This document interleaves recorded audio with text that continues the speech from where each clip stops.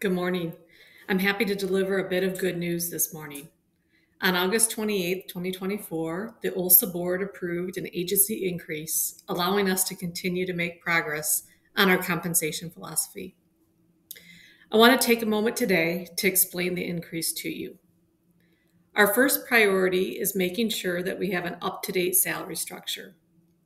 To do this, we age the salary chart and what this means is that we increased the 2023 salary structure by 6.35% to generate the 2024 structure.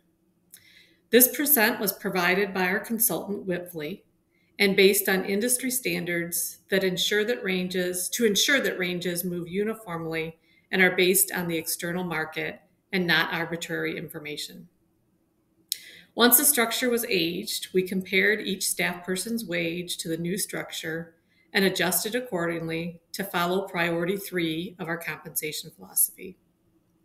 As a reminder, that, philosophy, that priority is to ensure that all non bargaining unit positions are paid at a minimum 80% comp ratio and that all bargaining unit positions are paid at least 90%. Therefore, our first step was to lift all positions below these minimums to the new minimums based on the 2024 age salary structure. Once this step is complete, we considered an additional increase to continue to lift the comp ratios of all staff with a focus on increasing the number of staff who are at a 90% comp ratio. Therefore, for 2024, increases will be provided as follows 80 to 85% comp ratio will receive a 1.75 increase.